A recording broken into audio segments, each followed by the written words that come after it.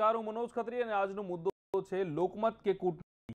ગોવા અને મણિપુરમાં ભાજપ કોંગ્રેસ કરતા પાછળ રહી ગઈ.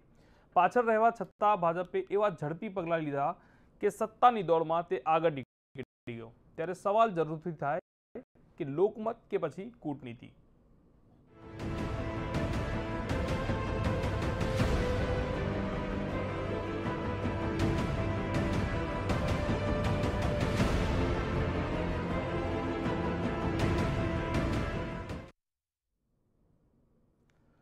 ગોવા અને મણિપુરમાં કોંગ્રેસની બેઠકો વધારે હોવા છતાં ભાજપની સરકાર કેવી રીતે બની ગઈ?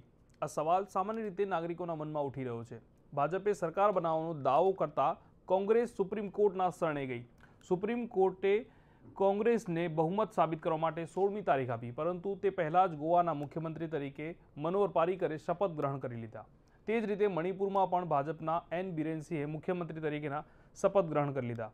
ગોવા અને મણિપુર બંને રાજ્યોમાં તાજેતરમાં યોજાયેલી વિધાનસભાની ચૂંટણીમાં કોંગ્રેસની બેઠકો સૌથી વધારે હતી. તેમ છતાં તેમને સરકાર બનાવવાના રાજ્યપાલે આમંત્રણ ન પાઠવ્યું અને ભાજપે દાવો કર્યો કે તે સરકાર બનાવવા સક્ષમ છે. માટે તેમને બહુમતી સાબિત કરવાનું કહીને તેમને સરકાર બનાવવા માટે સંમતિ આપી દીધી. હમ સબસે બડી પાર્ટી નહીં થે બહુમત કે કરીબ થે तो महामहिम राज्यपाल को सर्वोच्च न्यायालय के गाइडलाइन के अनुसार और अब तक की परंपराओं के अनुसार सबसे बड़ी पार्टी को मौका देना चाहिए था। हम प्रतीक्षा करते रहे, वहाँ बेमानी करके, संविधान की हत्या करके, संवैधानिक परंपराओं को समाप्त करके, भाजपा के जो हमसे बहुत पीछे थी, उसे बुला लिया। आमंत्रण नहीं किया जाता ब- नेता जाता है राज्यपाल के पास सरकार बनाने का दावा पेश करने कांग्रेस गई नहीं कांग्रेस को जाना चाहिए था रा- महामहिम राज्यपाल जब मना करते तब उसका आरोप लगाना चाहिए था ना गए कहाँ ये इनके पास विधायक ही नहीं थे તમને જણાવી દઈએ કે ગોવામાં ભાજપને તેર અને કોંગ્રેસને સત્તર બેઠકો પર વિજય થયો હતો. તો મણિપુરમાં ભાજપે એકવીસ અને કોંગ્રેસે અઠ્યાવીસ બેઠકો પર જીત મેળવી હતી. ગોવામાં સરકાર બનાવવા માટે એકવીસ બેઠકોની જરૂર હતી, તો મણિપુરમાં એકત્રીસ બેઠકોની જરૂર હતી. સ્પષ્ટ બહુમતી કોઈની પાસે નહોતી. છતાં, ઓછી બેઠકો હોવા છતાં ભાજપે બંને રાજ્યોમાં સરકાર બનાવી લીધી. આ સરકાર કેવી રીતે બનાવી, તેના પર જ છે આજની ચર્ચા. સ્ટુડિયોમાં ઉપસ્થિત છે ભાજપના હર્ષદગીરી ગોસ્વામી, કોંગ્રેસ તરફથી અશોકભાઈ પંજાબી અને રાજકીય વિશ્લેષક રજનીકાંત દેસાઈ. સૌથી પહેલાં તો રજનીકાંતભાઈ આપને પૂછવા માંગીશ કે ઓછી બેઠકો છતાં સરકાર રચાઈ. કયા આધાર ઉપર રાજ્યપાલે ભાજપને સૌથી પહેલાં આમંત્રણ આપ્યું? ગોવા અને મણિપુરની ચૂંટણીના પરિણામો આપણે જોઈએ તો ગોવામાં ચાળીસ બેઠકમાંથી ભાજપને તેર બેઠક મળી હતી ને કોંગ્રેસને સત્તર બેઠક મળી હતી. મણિપુરમાં તમે જુઓ તો સાહીઠ બેઠકોમાંથી કોંગ્રેસને અઠ્ઠાવીસ બેઠક મળી હતી અને ભાજપને એકવીસ બેઠક મળી હતી.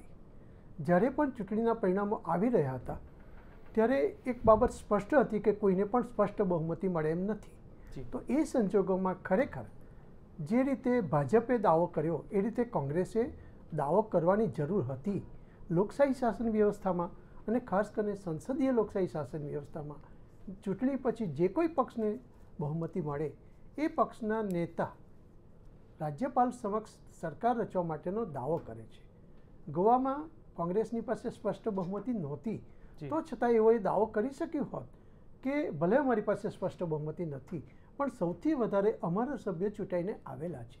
એટલે સરકાર રચવાનું મને આમંત્રણ આપો વિધાનસભામાં અમારી બહુમતી અમે પુરવાર કરીશું. તે જ પ્રમાણે મણિપુરમાં પણ કોંગ્રેસે દાવો કરવાની જરૂર હતી કે અમારી પાસે ભલે સ્પષ્ટ બહુમતી નથી પરંતુ અમારી પાસે સૌથી વધુ ધારાસભ્ય માટે ચૂંટાઈને આવેલા છે. સરકાર રચવાનો અમને તમે તક આપો અમે વિધાનસભામાં એ પુરવાર કરીશું બહુમતી. તો કોંગ્રેસે આ બંને જગ્યાએ જેણે દાવો કર્યો કર્યો નહીં અને એ એ પરિસ્થિતિનો એક વ્યૂહરચનાના ભાગરૂપે ભાજપે સમયસર પગલાં લઈને એનો લાભ લીધો. એમાં કશું જ ખોટું નથી. ભાજપે જે કંઈ કર્યું એ વ્યૂહરચનાનો એક ભાગ હતો. કોંગ્રેસ એ ચૂકી ગઈ અને ભાજપે એનો લાભ લીધો. એમાં બંધારણ નથી તો રાજ્યપાલે કશું જ ખોટું ન કર્યું નથી. જે કંઈ કર્યું છે એ વ્યાજબી રીતે કર્યું છે. એટલા માટે જ્યાં સુધી તમે રાજ્યપાલ સમક્ષ સરકાર રચવાનો દાવો ન કરો ત્યાં સુધી રાજ્યપાલ તમને સરકાર રચવા માટે આમંત્રણ આપી શકે નહીં. જો કોંગ્રેસે દાવો કર્યો હોત ભાજપની જેમ તો કોંગ્રેસને પણ એ દાવો કર્યા પછી સરકાર રચવા આમંત્રણ આપી શકે બંને રાજ્યોમાં.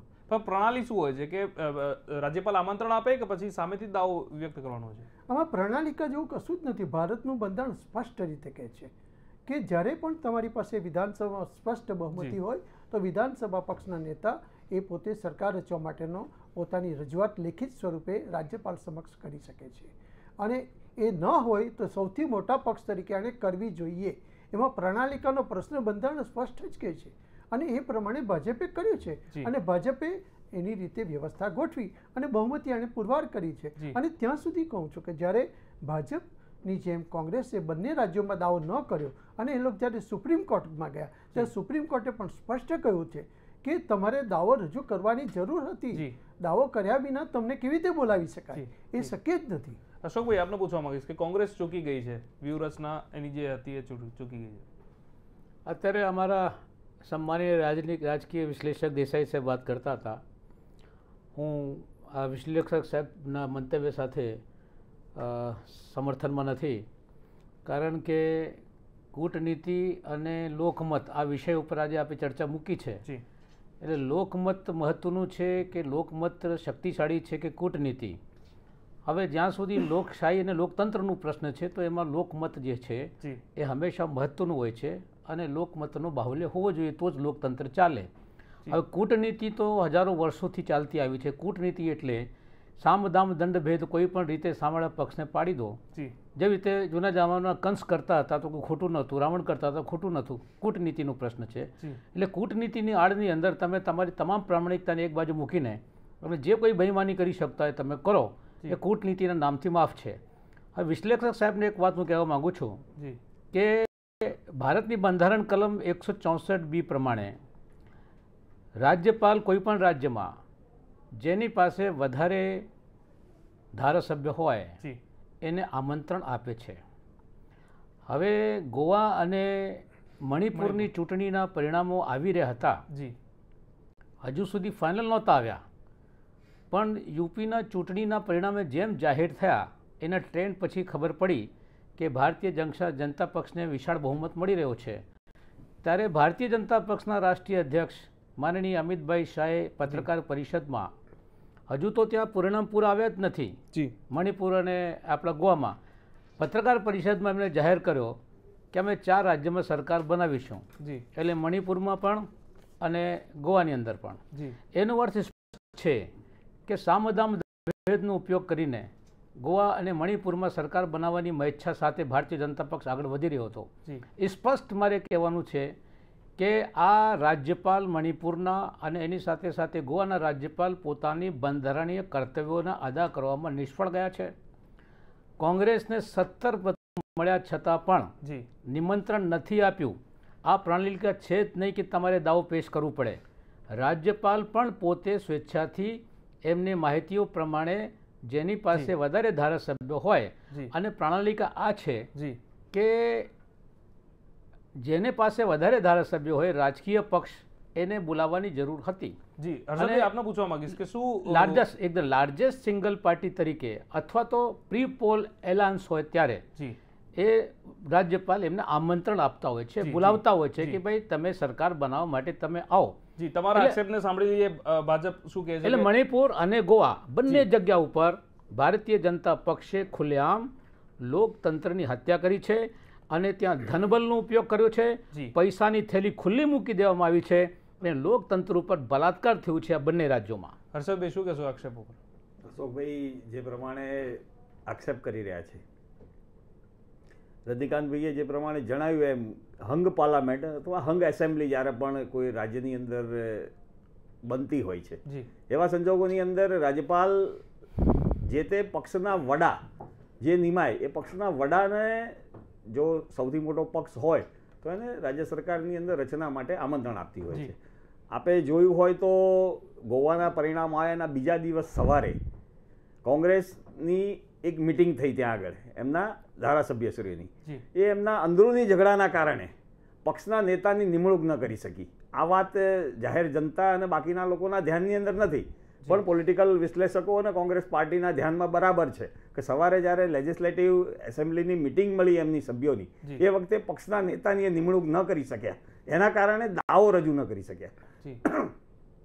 અને ભારતીય જનતા પાર્ટીએ તત્કાલ ગોવાના ધારાસભ્યોની જે માગણી હતી ગોવાના ધારાસભ્યો ઈચ્છતા હતા કે મનોહર પરિકરજી ફરીથી એકવાર ગોવાના મુખ્યમંત્રી બને. તો ભારતીય જનતા પાર્ટીના હાઈકમાન્ડે તત્કાલિક મનોહર પરિકરજીને રક્ષામંત્રી તરીકે નું રાજીનામું મંજૂર કરી અને ગોવાની જનતા જે ચૂંટાયેલા ધારાસભ્યો છે એમનો મત છે ગોવાની જનતાનો મત છે એવું સમજી અને ભારતીય જનતા પાર્ટીએ તત્કાલ નિર્ણય કરી અને મનોહર પરિકરજીને ગોવાના મુખ્યમંત્રી તરીકે જવા માટે છૂટા કર્યા. આ કારણે અને આ કોઈ અ, અ, રાજ્યપાલ શ્રી આમંત્રણ કોઈ સહીના આધારે નથી આપ્યું. પ્રેક્ટિકલ બાવીસે બાવીસ ધારાસભ્યો જઈને રાજ્યપાલ આગળ કરી છે. અને આજે ફ્લોર ટેસ્ટ ઉપર આપ સૌએ જ્યારે જોયું હોય, તો ફ્લોર ટેસ્ટ ઉપર પણ બાવીસની જગ્યાએ આજે ભારતીય જનતા પાર્ટીને ત્રેવીસ મત મળ્યા છે. મારા મિત્ર અશોકભાઈને હું જણાવું કે આજે કોંગ્રેસના એક એમએલએ ભારતીય જનતા પાર્ટીની તરફેણની અંદર મતદાન કર્યું છે અને એમણે રાજીનામું પણ આપી દીધું છે કોંગ્રેસ પક્ષમાંથી અને ધારાસભ્ય તરીકે. પણ આ જે તડજોડની રાજનીતિમાં ભાજપ હંમેશા આગળ હોય છે, શું એ વાત સાચી છે? તડજોડની રાજનીતિ નથી, જે રીતે હંગ પાર્લામેન્ટ, હંગ એસેમ્બલી હતી, એ સંજોગોની અંદર નિર્ણય તો કરવો પડે ને તમે એને હંગ તો રાખી નથી શકતા કોઈ પોલિટિકલ પાર્ટીએ રાજ્ય સરકાર બનાવવા માટે આગળ તો આવવું પડે ગોવાની જે પરિસ્થિતિ છે, એની અંદર તમામે તમામ ધારાસભ્યો, જે કોંગ્રેસ અને ભાજપની સામે ત્રીજા પક્ષ તરીકે લડ્યા હતા, એ બધા લોકોએ કોઈ એક વ્યક્તિ રાજ્યના મુખ્યમંત્રી તરીકે આવે તો અમે બધા એને ટેકો કરવા તૈયાર છે અને રાજ્યનો વિકાસ. મનોહર પારિકરજી કરશે એવો એમનો વિશ્વાસ હશે. એના કારણે ભારતીય જનતા પાર્ટીએ દેશના રક્ષામંત્રી જેવા આગેવાનને ગોવાના મુખ્યમંત્રી તરીકે મોકલ્યા છે. ત્યારે ભારતીય જનતા પાર્ટીએ ખૂબ ત્વરિત નિર્ણય કર્યો છે. પણ જ્યારે પણ ઇલેક્શન પતે છે ઇલેક્શન બાદ જ્યારે સરકાર રચવાની વાત હોય છે કાં તો કોઈ પણ પ્રમુખ પદની વાત હોય છે ત્યારે હોર્સ ટ્રેડિંગ થતું હોય છે અને મોટા ભાગે ભાજપ ભારતીય જનતા પાર્ટી કરતી હોય છે. ને જનાદેશનું ભંગ કર્યું એવું એવું નથી હોતું કોઈ ગોવા અને ત્યાં જનાદેશ જનાદેશ કોંગ્રેસ તરફી હતો. જનાદેશમાં સત્તર બેઠકો અને ત્યાં અઠ્ઠાવીસ બેઠકો. એટલે જનાદેશ પબ્લિક તો રાજેશ પાર્ટી કોંગ્રેસને મૂકી. પણ જડતોડની નીતિ પૈસા ખુલ્લી મૂકી દેવામાં આવ્યા. કોંગ્રેસ પાર્ટી સુપ્રીમ કોર્ટમાં પણ ગઈ. સુપ્રીમ કોર્ટે પણ સ્પષ્ટ કોર્ટ આપ્યું નહીં, ભાઈ આપની પાસે બહુમતી હતી તો આપે રાજ્યપાલ આગળ દાવો કરવો જોઈએ નહીં સુપ્રીમ કોર્ટ તો ટેકનિકલ નિર્ણય આપ્યો છે. રજનીકાંતભાઈ પૂછીએ રજનીકાંતભાઈ આ આ બંને ચર્ચા થઈ. એની અંદર આપને શું લાગી રહ્યું છે? આપ કઈ રીતે જોઈ રહ્યા છો? આવી જ્યારે બાબતો બને છે ત્યારે ટેકનિકલી જ જોવાય. અને હું તો ત્યાં સુધી કહેવા માટે તૈયાર છું કે પંજાબમાં કોંગ્રેસને એમ કહી શકાય કે એકસો ચૌદમાંથી સિત્તોતેર જેટલી બેઠકો મળી. અને અમરિંદર પોતે કોંગ્રેસ વિધાનસભા પક્ષના નેતા તરીકે ચૂંટાયા અને એમણે રાજ્યપાલ સમક્ષ રજૂઆત કરી કે મને સરકાર રચવાનું આમંત્રણ આપો. જો અમરિંદર પોતે રજૂઆત ન કરે, તો રાજ્યપાલ એમને સરકાર રચવાનું આમંત્રણ આપી ન શકે. બીજી સૌથી મહત્ત્વની બાબત એ છે કે તમે મણિપુરમાં જુઓ તો કોંગ્રેસની પાસે અઠ્ઠાવીસ ધારાસભ્યો હતા. બે ટીએમસીના સભ્ય અમને સપોર્ટ કરવા માટે તૈયાર હતા.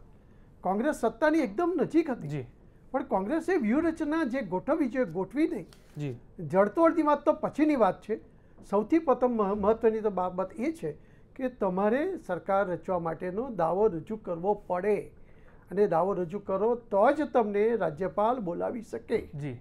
નહીં આ વાત ખોટી છે બિલકુલ. એકસો ચોસઠ બી પ્રમાણે એકસો ચોસઠ બી પ્રમાણે બંધારણની કલમમાં રાજ્યપાલ પોતે ધારે તો જેની પાસે વધારે ધારાસભ્ય હોય એમને પોતે પણ નિમંત્રણ આપતા હોય છે જ્યારે આખી દુનિયા જાણતી હોય કે ભાઈ આ પક્ષને આટલી સીટો મળી છે એ ટાઈમ ઉપર એ પણ આપી શકતા હોય છે.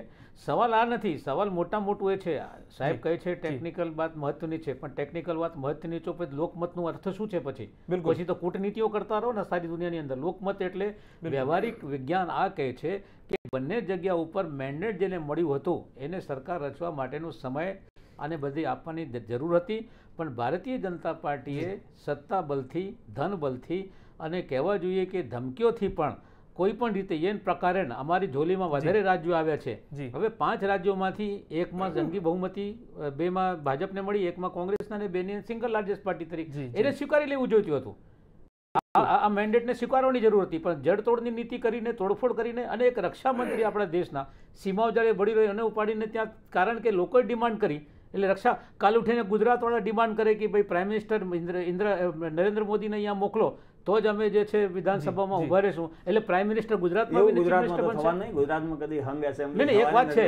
નહીં તમે જે કીધું કે એમને ડિમાન્ડ કરી એટલે મોઈન અરે ધારાસભ્યોને ડિમાન્ડ. હતી એટલે ચૂંટાયેલા આ બંને માંગી. અટકાવવા માંગીશ કારણ કે અત્યારે સમય થયો છે વિરામનો એક વિરામ લઈશું અને વિરામ બાદ જોઈશું. આ ચર્ચાને આગળ પણ ચાલુ રાખીશું.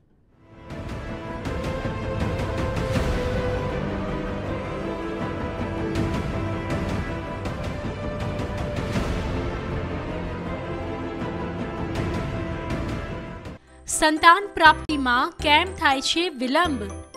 આઈવીએફ દ્વારા મળશે સાચો ઉપાય. મેળવો માર્ગદર્શન ડોક્ટર આનંદ ભટ્ટ પાસેથી. જુઓ પાપા પગલી. આજે બપોરે ત્રણ ત્રીસ કલાકે માત્ર મંતવ્ય ન્યૂઝ પર.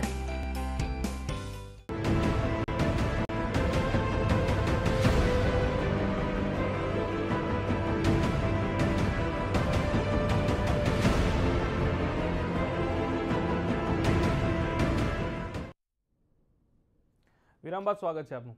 લોકશાહીમાં લોકો પોતાનો કિંમતી મત આપીને પોતાના પ્રતિનિધિને કે રાજકીય પક્ષને ચૂંટે છે. પછી જો આમ જ પૈસાના જોરે બહુમતી સાબિત કરાતી હોય તો પછી લોકશાહીનો શું અર્થ?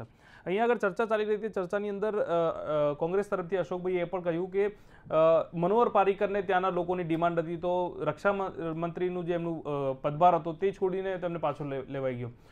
રતિકાતભાઈ, આપને પૂછવા માંગીશ કે શું આવી રીતે કોઈ ડિમાન્ડ થાય તો કઈ રીતે પાછું આવી શકે ખરું કોઈ ખરેખર જે રીતે કેન્દ્રમાં એનડીએની સરકાર બની અને અઢી વર્ષ દરમિયાન પારિકરજી જે ખૂબ જ લોકપ્રિય ગોવાના મુખ્યપ્રધાન હતા ને એમણે જે રીતે સુંદર કામગીરી સંરક્ષણ પ્રધાન તરીકે બજાવી અને આજે જ્યારે ચીન અને પાકિસ્તાનનો ભય છે આપણી સામે અને અમેરિકા જેવી અને રશિયા જેવી મહાસત્તા સાથે અનેક પ્રકારના એગ્રીમેન્ટો આપણે કરી રહ્યા છીએ એ સમયે આવી વ્યક્તિઓને ખરેખર રાષ્ટ્રના હિતમાં કેન્દ્રમાં સંરક્ષણ પ્રધાન તરીકે ચાલુ રાખવાની જરૂર હતી. એટલા માટે કે ગોવા એક ખૂબ જ નાનું રાજ્ય છે અને નાના રાજ્યને તો ત્યાં ભાજપે કોઈ પણ બીજાને બનાવી શક્યો હોત. બીજું એ પણ એનાથી પુરવાર થાય છે કે ભાજપની પાસે જો એકવીસ ધારાસભ્યનું સમર્થન હોય તો ભાજપ પોતે એક વ્યક્તિ ન શોધી શકે એક મુખ્યપ્રધાન પદને માટે. અને આવી વ્યક્તિ કે જેની ખૂબ જ કેન્દ્રમાં જરૂર છે પણ એની પાછળ હું જુદું પોલિટિક્સ જોઈ રહ્યો છું. મને એવું લાગી રહ્યું છે કે જે રીતે પારીકર આગળ વધી રહ્યા છે. અને જે રીતે કામગીરી કરી રહ્યા હતા એ ભવિષ્યમાં વ્યૂહરચનાની દ્રષ્ટિએ વર્તમાન વડાપ્રધાનને પણ એ મુશ્કેલી મૂકી શકે. એટલા બધા લોકપ્રિય બની શકે શક્તિશાળી બની શકે. એટલા માટે પણ એક વ્યૂહરચનાના ભાગરૂપે એમને ત્યાં પોતાની વ્યૂહરચનાના ભાગરૂપે મૂકવામાં આવ્યા. હું જોઈ રહ્યો છું. બીજી બાજુ આજે તમે જુઓ. કે રાજનાથ સિંહની પોતાની ઈચ્છા ઉત્તર પ્રદેશમાં જવાની નથી. પણ વડાપ્રધાન પક્ષના પ્રમુખ એમને ઉત્તર પ્રદેશ મોકલવાનો પ્રયત્ન કરી રહ્યા છે. એક રાજકીય વ્યૂહરચનાના ભાગરૂપે જેથી કેન્દ્રમાં એક શક્તિશાળી વ્યક્તિ જે કંઈ છે એ રાજ્યમાં જાય અને ભવિષ્યમાં એમને એનાથી નુકસાન ન થાય એ ધ્યાનમાં રાખીને ગોઠવી રહ્યા છે. મારા મિત્ર અશોકભાઈ એક જે વાત ગઈ વખતે કરી બ્રેક પહેલાં કે રાજ્યપાલ ધારે તો રાજ્યપાલ ધારે તો એમ કે ધારે તો ન ચાલી શકે. હંમેશા રાજ્યપાલે એ બંધારણીય વડા છે.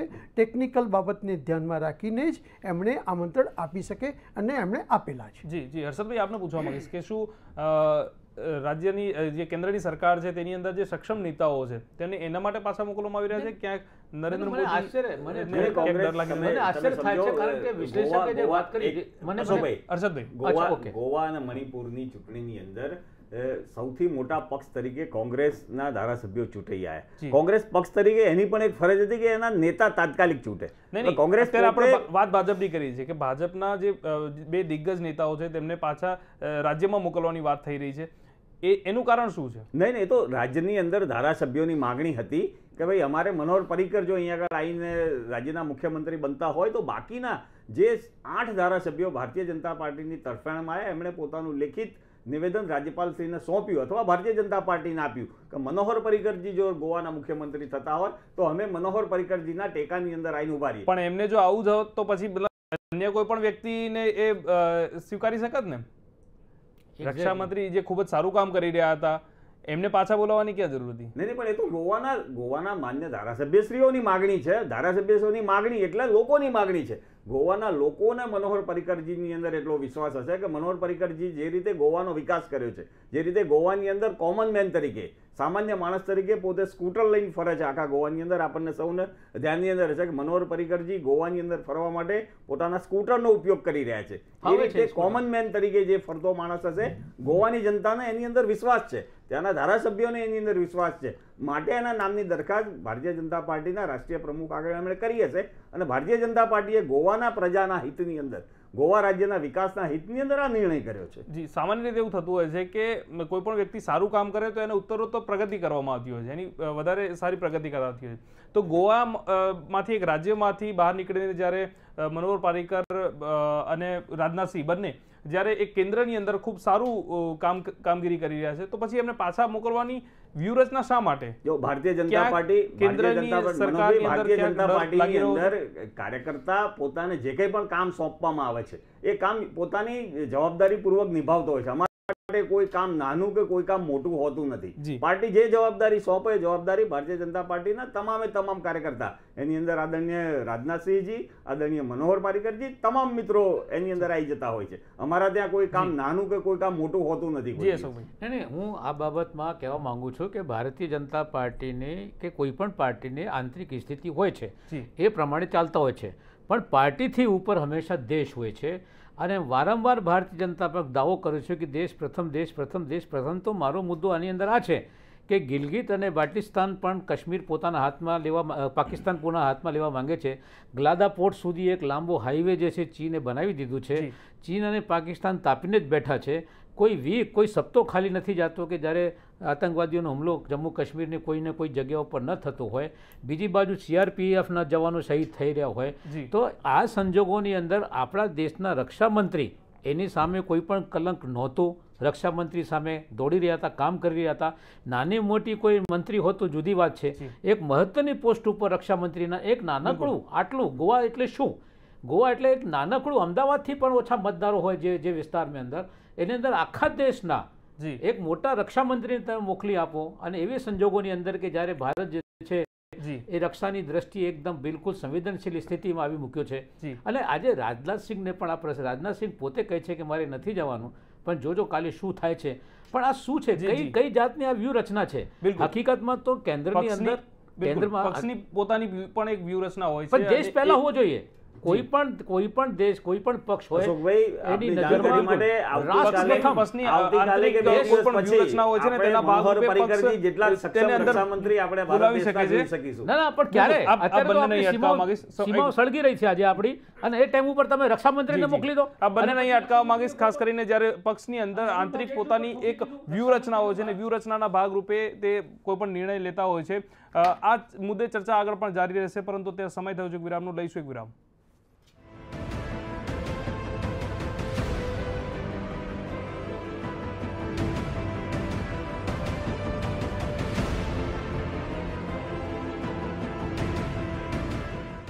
સંતાન પ્રાપ્તિમાં કેમ થાય છે વિલંબ? આઈવીએફ દ્વારા મળશે સાચો ઉપાય. મેળવો માર્ગદર્શન ડોક્ટર આનંદ ભટ્ટ પાસેથી. જુઓ પાપા પગલી. આજે બપોરે ત્રણ ત્રીસ કલાકે માત્ર મંતવ્ય ન્યૂઝ પર.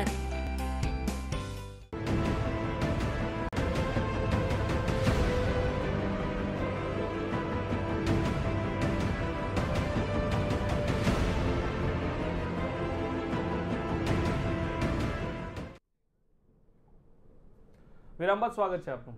ચર્ચાની અંદર વધુ પણ એક સવાલ ઉઠી રહ્યો છે કે શું રાજ્યપાલ જે પણ પક્ષના હોય ત્યાં તેમની વફાદારી વધારે હોય તે માટે આ સ્થિતિનું સર્જન થાય છે? સૌથી પહેલાં દેસાઈ સાહેબ આપને પૂછવા માગીશ. ખરેખર જે પરિસ્થિતિ અત્યારે પેદા થઈ મણિપુર અને ગોવામાં ત્યાં આ પ્રશ્ન ઉપસ્થિત થતો નથી. એટલા માટે જ્યારે પણ એમ કહેવામાં આક્ષેપ કરવામાં ત્યારે રાજ્યપાલે પોતે પણ કહ્યું કે જે કંઈ બન્યું એને ભૂતકાળમાં કોંગ્રેસમાં હતા. જી. ખાસ કરીને મણિપુરના જે રાજ્યપાલ છે એ કોંગ્રેસમાં હતા. ને એમને તો આવા પ્રશ્નો પર તેમને દુઃખ પણ થયું. ખરેખર મારી સ્પષ્ટ દ્રષ્ટિએ હું જોઈ રહ્યો છું કે ગોવા અને મણિપુરમાં જે કંઈ બન્યું એ બંધારણ પ્રમાણે બનેલું છે. એમાં કોઈ શંકાનું સ્થાન નથી. હા એટલું બની શક્યો હોત એમાં કે કોંગ્રેસે જે ઝડપથી જે પગલાં લેવા જોઈએ એના જ્યારે ચૂંટણીનું રિઝલ્ટ આવી રહ્યું હતું ત્યારે સ્પષ્ટ થતું જતું હતું ત્યારે એના પગલાં લેવા જોઈએ. કોંગ્રેસ એ પગલાં લેવામાં ચૂકી ગઈ.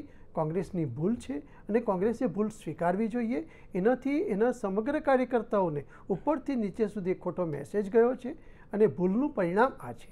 ખરેખર રાજકીય પક્ષો તો શું છે? રાજકીય પક્ષો એની રીતે કામ કરવું જોઈએ. અને એ ન કરે અને ભૂલ કરે તો સ્વીકારવું જોઈએ એમાં કશું જ ખોટું નથી. પછી આપણે પૂછવા માંગે ખાસ કરીને આ તો રાજકીય પક્ષોની વાત થઈ. મતદારો સાથે વિશ્વાસઘાત નથી થયો? કારણ કે જે જે પ્રમાણે મતદારોએ મોટાભાગના મતદારોએ પક્ષની સરકાર ઈચ્છતા નહોતા. તેમ છતાં પૈસાના જોરે મતાધિકારને કચડીને ઓછી બેઠકો મેળવી મેળવવામાં આવી છે એવું નથી લાગતું? ના આમાં એવું બની શક્યું હોત. જો દાખલા તરીકે એમ કહી શકાય કે ગોવામાં ચાળીસ બેઠકો છે અને કોંગ્રેસને એકવીસ બેઠક મળી હોત બાવીસ બેઠક મળી હોત. અને જો એને સરકાર રચવાનું આમંત્રણ ન આપ્યું માગવા પછી તો એમ કહી શકાય કે મતદારો સાથે દગો થયો છે. સિંગલ સૌથી વધારે મતદારોએ તો કોંગ્રેસ ઉપર ભાર મૂક્યો હતો લોકશાહી શાસન વ્યવસ્થામાં અંદર માથાનું માથાની ગણતરી થતી હોય ઓગણીસો 1998 ની અંદર એક મત માટે કેન્દ્રની સરકાર અમે ખોયેલી છે ભાઈ. સ્પષ્ટ એક મત માટે કેન્દ્રની સરકાર આદરણીય અટલજીના નેતૃત્વની અંદર એક મત માટે ભારતીય જનતા પાર્ટીએ કેન્દ્ર સરકાર અમે ખોલી છે. એટલે લોકશાહી વ્યવસ્થાની અંદર માથાની કિંમત હોય છે. કેટલા માથા કોની સાથે છે એના આધારે બંધારણીય વ્યવસ્થાની અંદર આપણે ત્યાં નિર્ણયો થતા હર્ષદભાઈ હું આપને એ જ કહેવા માંગુ છું કે મોટા ભાગના માથા આપણે જો માથાની જ વાત કરીએ તો મોટા ભાગની માથા બંને રાજ્યોની અંદર કોંગ્રેસની સાથે સાથે હતા. બરાબર? તો પછી ભાજપે જે બીજા અન્ય રાજકીય પક્ષો હતા અથવા તો અન્ય જે ઇન્ડિપેન્ડન્ટ લોકો જ કહું છું ને, એને પોતાની સાથે જોડીને રાજકીય પાર્ટી તરીકે કોંગ્રેસે ભૂલ કરી છે. કોંગ્રેસ પોતાની અંદરૂની રાજનીતિની અંદર પોતાના અંદરૂની કલહની અંદર આગળ ન વધી અને પક્ષનો નેતા નથી ચૂંટી શકી. બંને રાજ્યોની અંદર કોંગ્રેસ પોતાના પક્ષનો નેતા નથી ચૂંટી શકી. આ પોતાની જે ખામી છે આ પોતાની જે ભૂલ છે આ ભૂલને છુપાવવા માટે આજે આખા દેશની અંદર આ રીતનું બવંડર કોંગ્રેસ પાર્ટી દ્વારા ઊભું કરવામાં આવેલું છે. કોંગ્રેસની કેડરના પણ સ્પષ્ટ સંદેશો છે કે ભારતીય કોંગ્રેસની આપણી રાષ્ટ્રીય નેતૃત્વ કઈ રીતે કામ કરી રહ્યું છે કે આપણે વધુ સભ્યો લઈને જીત્યા એમ છતાં પણ આપણે ગવર્મેન્ટ બનાવવાનો ક્લેમ ન કરી શક્યા. આપણે આપણા પક્ષનો નેતા ન નિમી શક્યા. મોટી ભૂલ આની અંદર સૌથી પહેલો પક્ષનો નેતા નથી નિમી શકી કોંગ્રેસ. એ ભૂલ છે. આ ભૂલને છુપાવવા માટે આખા દેશની અંદર આ રીતે ભારતીય જનતા પાર્ટીના વિરોધની અંદર અપપ્રચાર કોંગ્રેસ જે કરી રહી છે અને આદરણીય સુપ્રીમ કોર્ટે પણ જ્યારે કહી દીધું છે ત્યારે આ વિષયનો મુદ્દાની ચર્ચા જ નથી રહેતી. સુપ્રીમ કોર્ટે પણ કીધું છે તમારી પાસે જો બહુમતી ધારાસભ્યો હતા તો તમારે રાજ્યપાલના ઘર આગળ પરેડ કરવી હતી પણ એની પહેલા તો સરકાર બની ગઈ હતી. અશોકભાઈ આપને પૂછવા માંગીશ કે શું બહુમતી અંદર અંદર કોંગ્રેસનો જે આંતરકલા છે એ નડ્યો છે? ના ના એ જો એ થઈ શકે જે મારા મિત્ર કહી રહ્યા છે પણ સવાલ આ નથી કે નેતા ચૂંટી શક્યા કે નહીં? સવાલ આટલું જ છે આની અંદર કે જે પીપલ્સ મેન્ડેટ હોય જન આદેશ હોય જેની પાસે સૌથી વધુ જનાદેશ હોય એ બનાવી શકે ચલો જનાદેશની વાત બરાબર છે પરંતુ જે. આંતરિક જે ડિસિઝન લેવાનું હતું જે નેતાગીરી નક્કી કરવાની હતી એ નથી કરી શક્યા ને એના કારણે ક્યાંક ને ક્યાંક ઊણી ઉતરી છે કોંગ્રેસ? નહીં જ્યાં સુધી આપણે ગોવાનું પ્રશ્ન છે તો ગોવા બાબતમાં કદાચ આ શક્ય છે જે અમારા મિત્ર કહી રહ્યા છે. પણ એ પ્રક્રિયા ચાલુ હતી. પણ એ પહેલાંથી જ જે છે એ યેન કેન પ્રકારે સામદન ભેદનો ઉપયોગ શરૂ થઈ ગયો હતો. અને રાજ્યપાલ પાસે ચિઠ્ઠી લઈને જ્યારે અમારા કોંગ્રેસના એક આગેવાન ત્યાં ગયા હતા કે ભાઈ અમારા આટલા સભ્યો છે ત્યારે સુધી સમયસર ચિઠ્ઠી પહોંચાડી નહીં. અને એના પછી તાત્કાલિક એને ચિઠ્ઠી નહીં. મનોહર પરિકરજી સીધા એકવીસે એકવીસ એમએલએ ને લઈને ગયા છે. કોઈ ચિઠ્ઠી લઈને ભારતીય જનતા પાર્ટી નથી. હું તમને કહું ભારતીય જનતા પાર્ટી સીધે સીધા બાવીસ એમએલએ ને લઈને રાજ્યપાલ સમક્ષ રજૂ થઈ છે. અને પત્રકાર પરિષદની પણ. પત્રકાર પરિષદની અંદર પણ ભારતીય જનતા પાર્ટીને સમર્થન આપતા બાવીસે બાવીસ એમએલએ હાજર હતા. નહીં, સાંભળો એ નથી કહેતો. અને આજે એનાથી મોટી વાત આજે ફ્લોર ઉપર મતદાન દરમિયાન ભારતીય જનતા પાર્ટીની તરફેણની અંદર કોંગ્રેસના એક એમએલએ મતદાન કર્યું છે. આજે ભારતીય જનતા પાર્ટીને ત્રેવીસ મત મળ્યા છે. ગોવા એસેમ્બલીની અંદર ત્રેવીસ મત મળ્યા છે. કોંગ્રેસના એક એમએલએ ભારતીય જનતા પાર્ટીની. તો ક્યાંક ને ક્યાંક જે ગોવા અને મણિપુરની અંદર જે પણ મણિપુરમાં તો બાજી મારી છે તેની અંદર ક્યાંક ને ક્યાંક કોંગ્રેસનો આંતરકલહ અમ, જવાબદાર હોય ચર્ચાને અંતમાં એવું લાગી રહ્યું છે. જી બિલકુલ. માજી મુખ્યમંત્રી ઓલરેડી પક્ષના નેતા હતા. અને ચૂંટાઈ આવ્યા હતા. ઓલરેડી ના હોય કોઈ ના દિવસ. એ હતા ના ના એ હતા ચૂંટાઈ આવ્યા હતા. બંધારણીય વ્યવસ્થા ગોવાની ગોવાની વાત સાથે તમને અમુક અંશે સમજ થાઉં છું. બોલાવવાની હોય છે એસેમ્બલી ત્યાં- ત્યાં થયું હતું. અને એના નેતા તરીકે મણિપુરમાં મણિપુરમાં આ થયું હતું નેતા ચૂંટી કાઢવામાં આવ્યા જી હતા. બિલકુલ. આ ચર્ચાને બિલકુલ અહીંયા જ અટકાવવા માંગીશું કારણ કે આ જે ચર્ચાનો અત્યારે અંતનો સમય આવી ચૂક્યો છે. પરંતુ ચર્ચાના અંતે એટલું ચોક્કસ જાણવા મળી રહ્યું છે કે આ જે પણ ભાજપે બાજી મારી છે તેમાં ક્યાંક ને ક્યાંક કોંગ્રેસનો અંદરનો જે આંતરકલહ છે એ ત્યાં આગળ ક્યાંક કોંગ્રેસ ઊણી ઉતરી હોય તેવું પ્રાથમિક દ્રષ્ટિએ જોવા મળી રહ્યું છે. આ ચર્ચામાં જોડાવા બદલ હર્ષદગીરીભાઈ આપનો અશોકભાઈ આપનો અને રજનીકાંતભાઈ દેસાઈ આપનો ખૂબ ખૂબ આભાર. કોઈને પણ કોઈ પણ પક્ષને સ્પષ્ટ બહુમતી ન મળી હોય, ત્યારે સૌથી પહેલાં આમંત્રણ કયા પક્ષને કે ગઠબંધનને અપાય અને સેના આધારે? તે અંગે બંધારણીયમાં સ્પષ્ટીકરણ ન હોવાથી કેન્દ્રમાં જેની પણ સરકાર હોય તે લાભ ઉઠાવે છે. અને ગોવા અને મણિપુરમાં રચાયેલી ભાજપની સરકાર આની પરથી આ વાત સ્પષ્ટ થઈ ગઈ છે. અને આ બધાની વચ્ચે લોકશાહી હણાઈ રહી છે. પૈસા અને સત્તાના શોરબકોરની વચ્ચે ક્યાંય લોકશાહીનો અવાજ તો નથી દબાઈ રહ્યો ને? હાલ ચર્ચામાં આટલું જ. વધુ અપડેટ્સ માટે જોતા રહો મંતવ્ય ન્યૂઝ. નમસ્કાર.